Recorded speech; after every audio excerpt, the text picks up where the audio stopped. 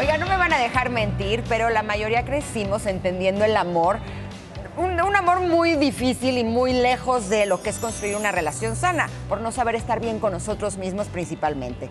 Por eso esta mañana nos acompaña la psicoterapeuta y escritora y además una gran amiga, Ana Mar Orihuela, que nos va a decir cómo podemos sanar nuestras heridas en pareja. Bienvenida, Ana tenerte por aquí. Yo también feliz de poder compartir y además sobre todo estos temas.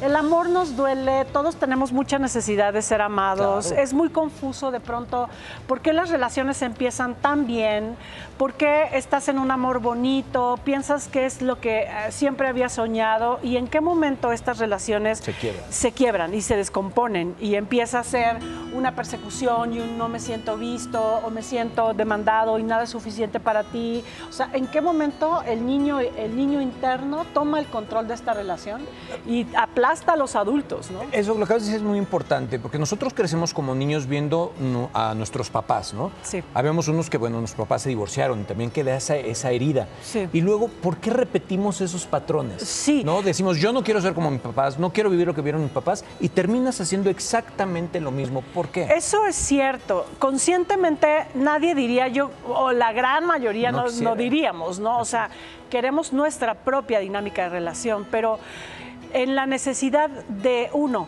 eh, el, el padre y la madre y sus dinámicas son el hogar.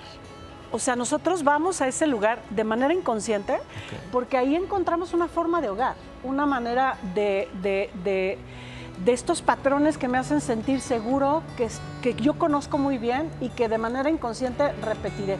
Dos, porque es así como yo conocí el amor. O sea, el amor para mí era eh, un hombre ausente, el amor para mí era una, una mamá maltratadora, una mamá rechazante, el amor era a- ausencia, agresión.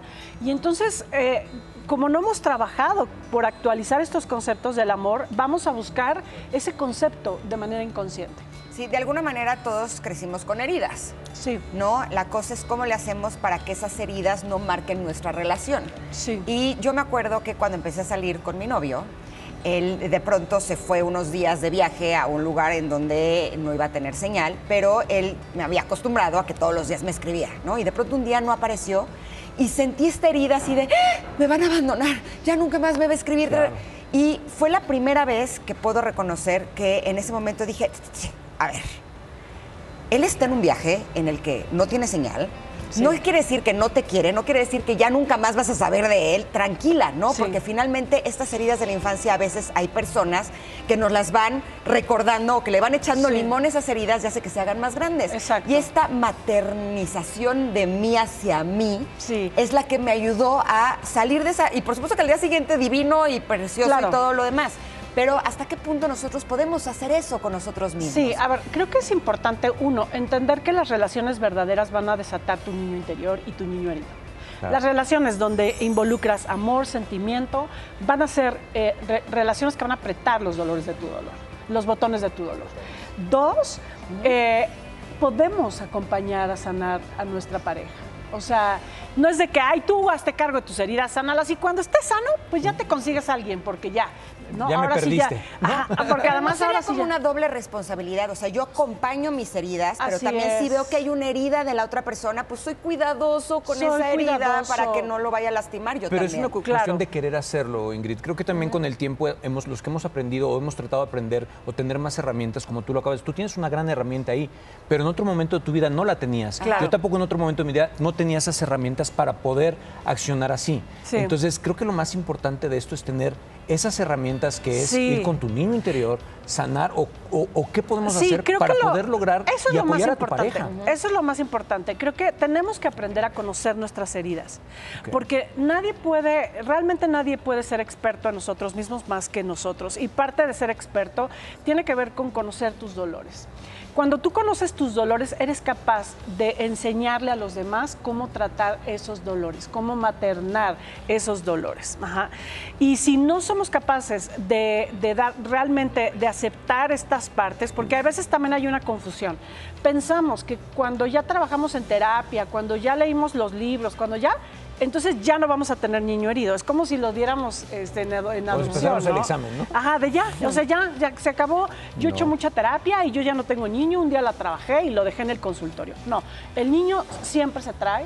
Efectivamente, se activa con las relaciones importantes y hay que aprender a conectarlo, a amarlo, a darle lo que necesita, a darle a esa contención emocional a nuestras heridas. El otro día leí una frase que me pareció hermosa que decía que el desafío de una relación sana es atreverte a ser vulnerable, Sí. a decirle Wow. a tu pareja, a mí me duele aquí, estas son las áreas en donde yo he estado muy herido o he estado muy herida y poder reconocerlas y poder platicarlas en pareja no solamente te pueden llevar a tener mayor comunicación, sino poder conectar mejor con tu pareja. Sí, y algo muy importante es que cuando tu pareja te muestre su dolor, eso es el amor. El amor es, es no ejercer el poder que te da esa vulnerabilidad. O sea, todos tenemos un poder cuando alguien nos muestra su dolor. Pero acabas de decir algo, conectar con el dolor desde el amor. Sí. Porque luego cuando conectas desde el dolor, desde el sufrimiento y, y lo utilizas para agredir o para lastimar a la otra persona, no se vale. Y acabas de decir algo.